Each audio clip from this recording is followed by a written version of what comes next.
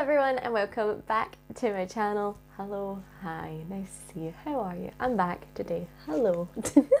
so, fun story.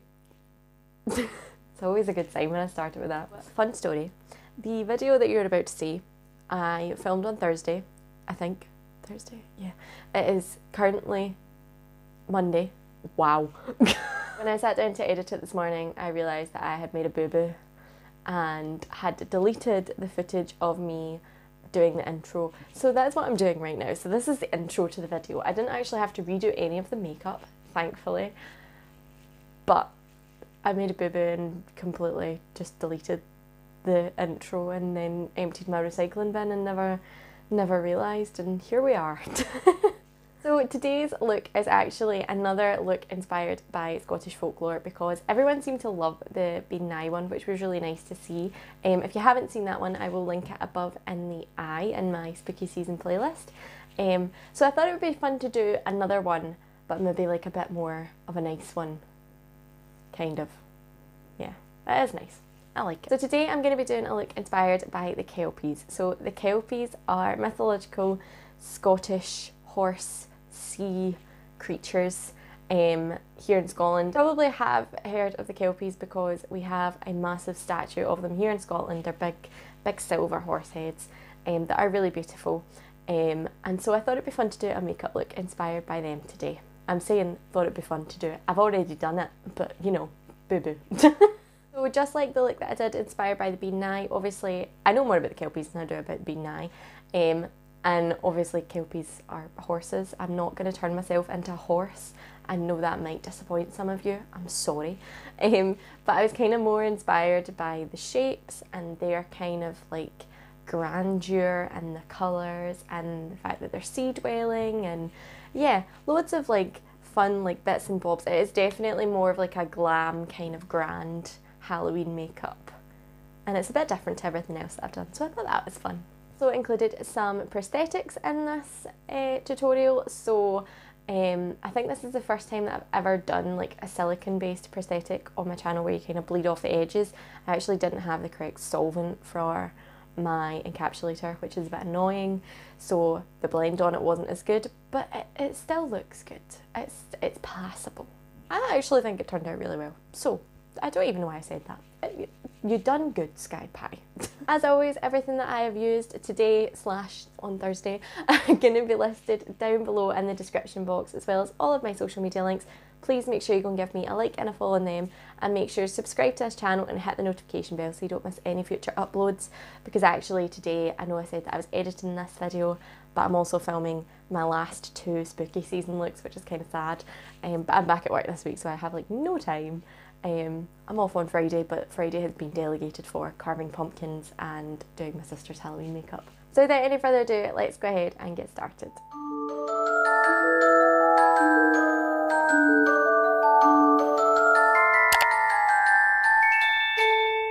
Okay, so the first thing that you're going to do is cover your eyebrows. So I do a kind of more detailed um, tutorial of this in my Medusa makeup tutorial, which I'll link in the eye above.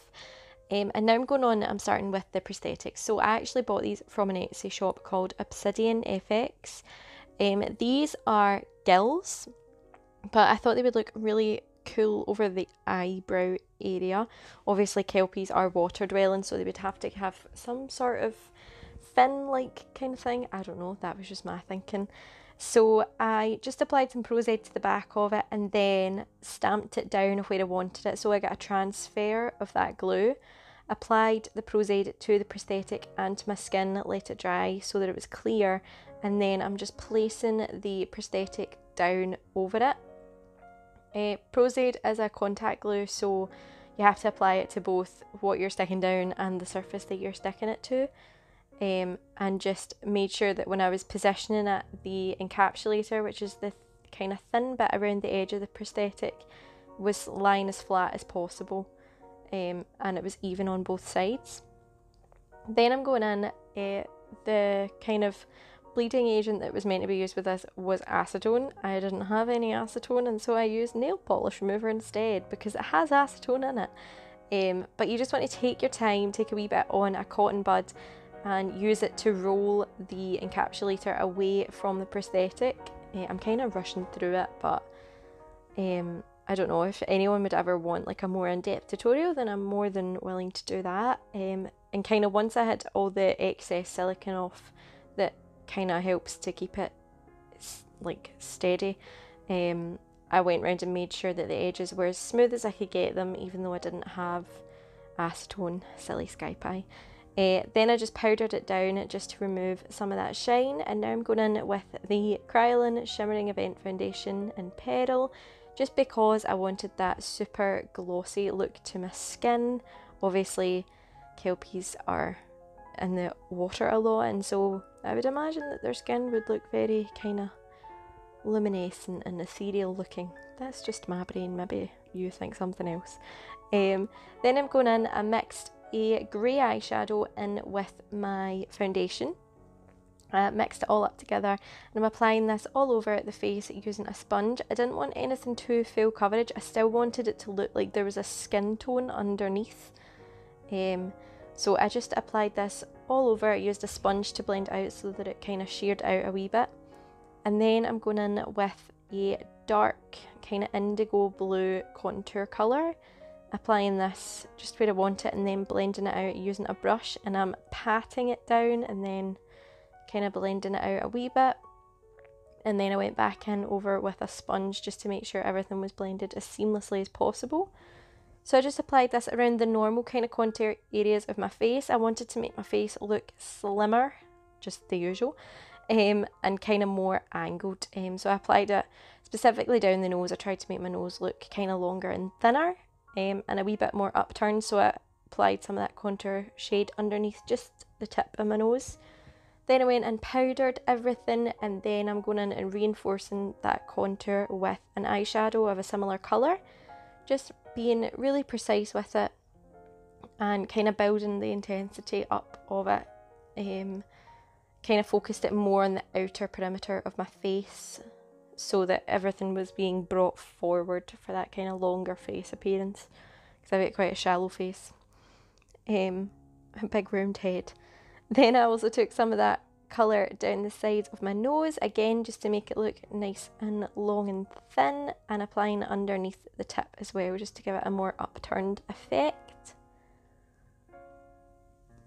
And then I'm just using the same eyeshadow that I used as a contour on my eyes. So I wanted my eyes to look really big. So I'm going to create a halo eye. I just always think this makes your eyes look massive. So I'm applying that dark shade on my inner and outer corner and then blending it into the centre of my eye. And I took this like right up underneath my brow. So that was kind of like my, like I aimed for that to be my crease. Um, I also took that colour underneath my lower lash line and smoked it out quite a bit. Again, I just wanted to make my eyes look as big as possible. Um, and then I took a lighter blue shade and blended that around the edges just to help blend it into that skin tone. Then I'm taking a shimmery kind of icy blue on the centre of my lid. Um, I, I just think Kelpies would look very kind of innocent but like regal at the same time. So I wanted to kind of give that vibe. Um, and so to give the regal vibes, we went in with lots of shimmer. Uh, this is a pigment that I applied first with a glitter glue and then just patted that over the top. Um, this is from Pastel Roses. Everything, as always, is going to be linked below. Then I'm going in with the same colours that I used on my eyes and shading in the fins. I don't I don't know if they're fin they're they're um cast as gills, but I kind of use them as fins. It's just, just you do you. Um, but yeah, went in with the light blue and then going in with that dark blue that I used as a contour and shading that. When you just use the same colours kind of all over your face as well as the prosthetics, it just makes everything look more cohesive and like it's like at one with your skin and it actually does belong on your face and isn't just stuck on. Uh, then I went in with a silver pigment mixed with a wee bit of Duraline and painted the edge of that prosthetic as well as kind of like that boning part in between the web areas. I don't know what they're called. Um, But yeah, just kind of painted around the edges just to make them stand out a wee bit more. And I stuck with a very cool toned colour scheme because the Kelpies, their statue is like silver, so I kind of wanted to emulate that. Then I'm going in with these. I bought these last year from Tesco's. Um, they're like face gems. I think they're meant to be used for a unicorn, but I wanted to use it for these. And plus, they're super easy. Um, so yeah, I didn't really fancy sticking on all of these ones individually, but then I continued to stick more gems on my face anyway. So the kind of wee side bits I put at the top of my brow, and then I applied some big kind of just silver gems. The other ones that I got from Tesco are like AB, so they shift different colours. These ones are just more silver based. But I applied this all down the sides of the fin, uh, kind of tapering them out towards the bottom, making sure that the smaller ones were at the bottom.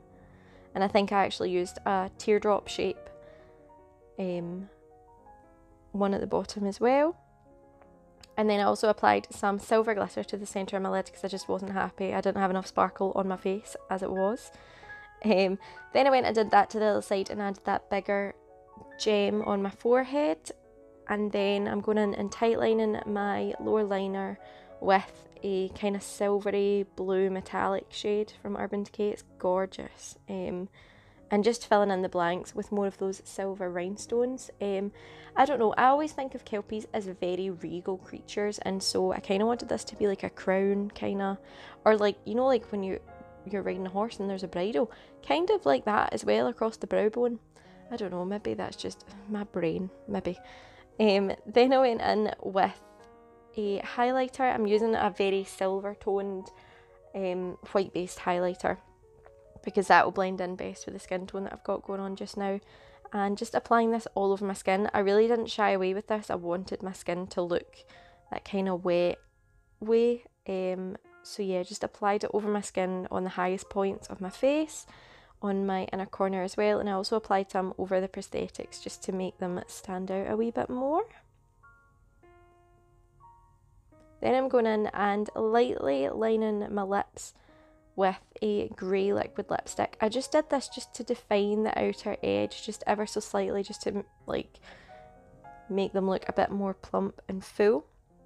Then I took that same grey liquid lipstick on a fluffy eyeshadow brush and applied it into the centre of my lips and blended outward. So even though I had lined my lips, I wasn't I didn't want like a precise lip look, but I still wanted there to be a fullness there. Um, and then I took that same silver paint that I used on the prosthetics and painted that all over my chest just to make my skin look that kind of grey castaway um, and look nice and shiny like I just popped up out of the water. Then I took that same silver paint over the top of that lipstick just in the centre just to make them stand out a wee bit more. And then I applied a big pair of falsies because horses always have the longest lashes and so I just thought, you know, this character's full out glam, so she would have the biggest lashes that she could find. And then just to finish it all off, I applied a gloss just all over my lips, um, just to kind of again give that glittering kind of look in the sunshine. So there you have it guys, that is the finished Kelpie inspired makeup look.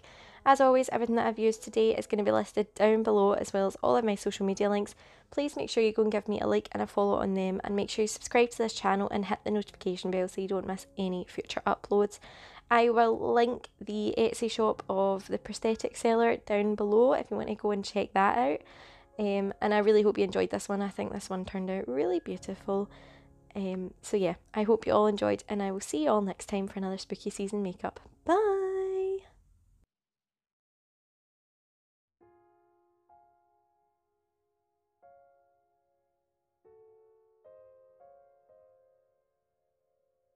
huge, big statue. That's my statue. what a numpty. Was going, spooky season was going so smoothly, something had to happen. Something. Dearie me. Yeah, back, back to the, the, not the future. No, that the, the future is tomorrow, the, the past. Who's in up there? Oh dear. So fancy today because I'm using actual prosthetics. Set up straight sky pie.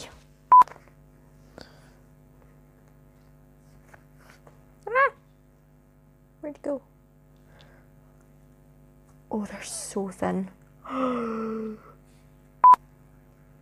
when it crumbles. was so nice of Adele to name a song after me.